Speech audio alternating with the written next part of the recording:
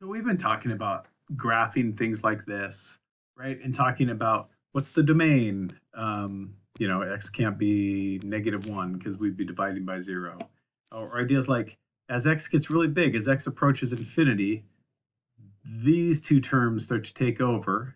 So y would approach 3 because 3x over x, you know, 3 over a million divided by a million is, is 3. 3. 3 times a million minus 5 over a million minus 1, the minus 5 and the minus 1 are so tiny, you know, they don't matter. Or make it a billion, and it gets closer and closer to 3. So we've had this extreme behavior talking about it. We've also talked about how sometimes um, we'll get holes, right? Like if I had this x minus 5 over x plus 5 times x minus 5, that divides out.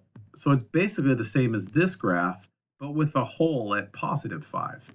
Um, when, so x can't be positive 5.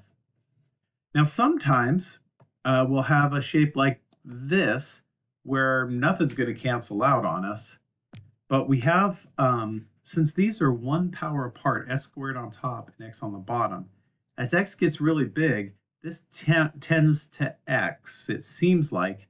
So it grows, it feels like it grows without bound, but x divided by x is x, so it makes a straight line.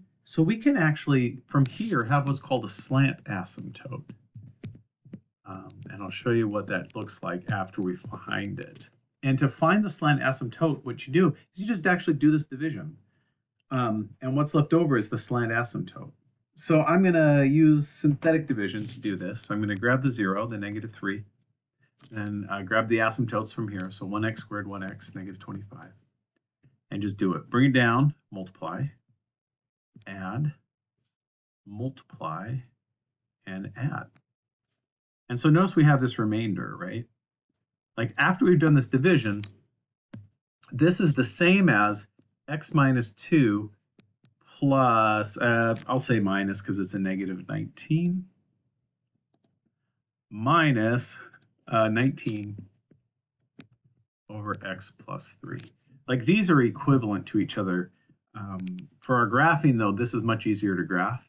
But this lets us think about what happens to this as x gets really big, as x approaches infinity.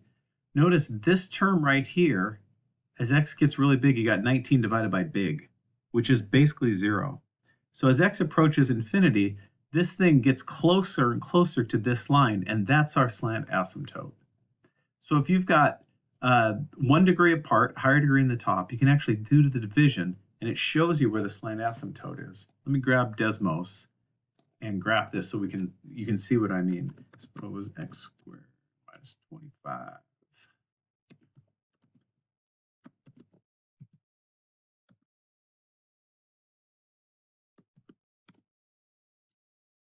So there it is. And you see how it's kind of got this slant thing going on? It still has that horizontal, uh, that vertical asymptote at negative 3, right? It's got this slant asymptote. I'm going to throw the, the graph that we said that it, the line that we said it was in there. We said it was x minus 2.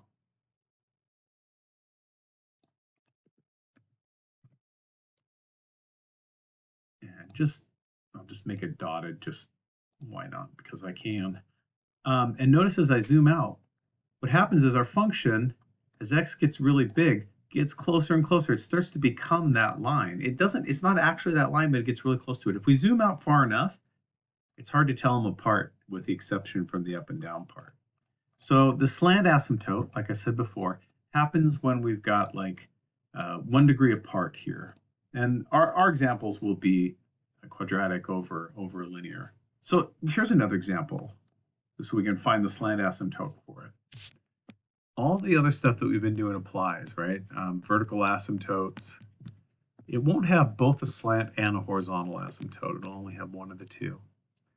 So on this one, I could try and factor that, see if something cancels out. It's not going to.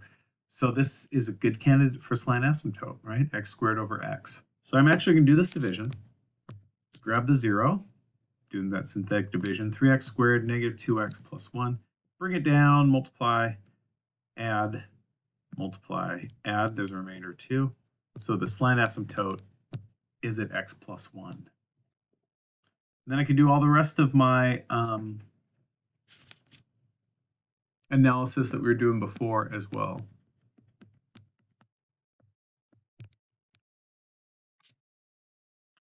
x squared over x. So let's do the division. 2 x squared minus, oh, I don't need the x squared. I'm doing synthetic division.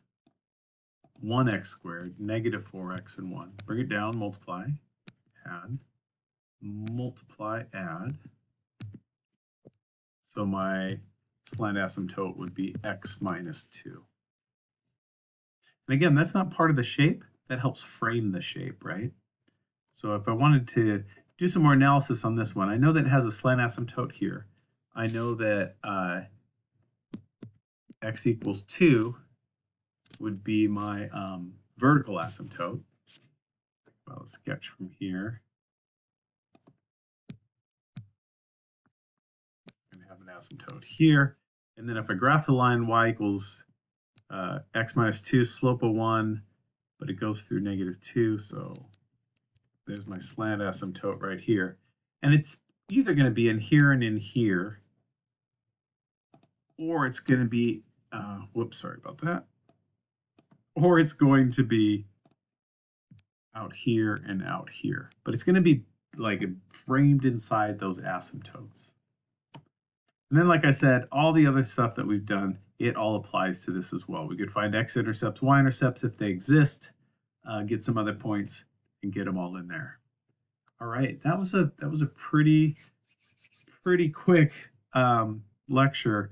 Uh, one thing one thing I do want to add to this about this slant asymptote, we could say as x approaches infinity, y approaches that x minus 2.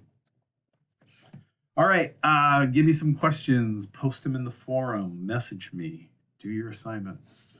Let me know how it's going.